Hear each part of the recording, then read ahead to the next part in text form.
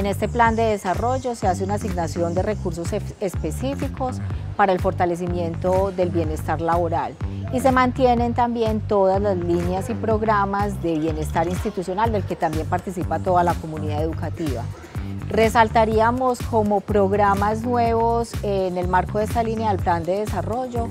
eh, la producción y desarrollo de toda una política de género para la institución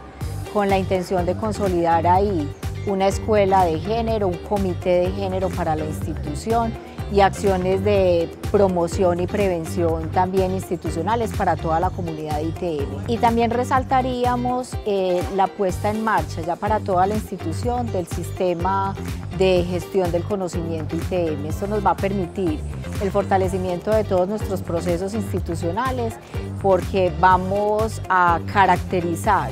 eh, las distintas formas de conocimiento institucional, no solo en lo académico, sino también en lo administrativo, para una gestión más eficaz y eficiente y para una mejor transferencia de todos nuestros procesos. Y resaltaríamos también en la línea de, de bienestar lo que corresponde al fortalecimiento de los, del sistema de seguridad y salud en el trabajo,